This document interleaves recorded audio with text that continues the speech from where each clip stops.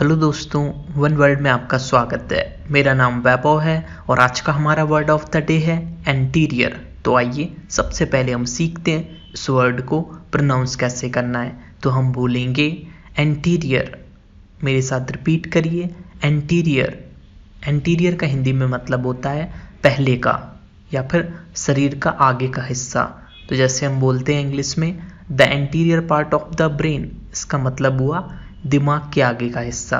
तो चलिए, अब हम एक एग्ज़ाम्पल लेते हैं और समझते हैं इस वर्ड को हम सेंटेंस में कैसे यूज़ कर सकते हैं। तो हम बोल सकते हैं the individual states enjoyed certain rights anterior to their joining the union इसका हिंदी में मतलब हुआ, हर राज्य के अपने कुछ अधिकार हैं, जो कि उनके विलय के पहले के हैं। तो दोस्तों, यहाँ आपने सीखा एंटीरियर वर्ड क्या है और उसको हम सेंटेंस में कैसे यूज़ कर सकते हैं। तो चलिए दोस्तों, आज के लिए इतना ही। अगर आपको ये वीडियो पसंद आया हो तो इस वीडियो को लाइक कीजिए। अगर आपके पास कोई और अच्छा एग्ज़ाम्पल है तो हमें कमेंट में बताइए। और हमारे चैनल वन वर्ल्ड को सब्सक्राइब कीजिए।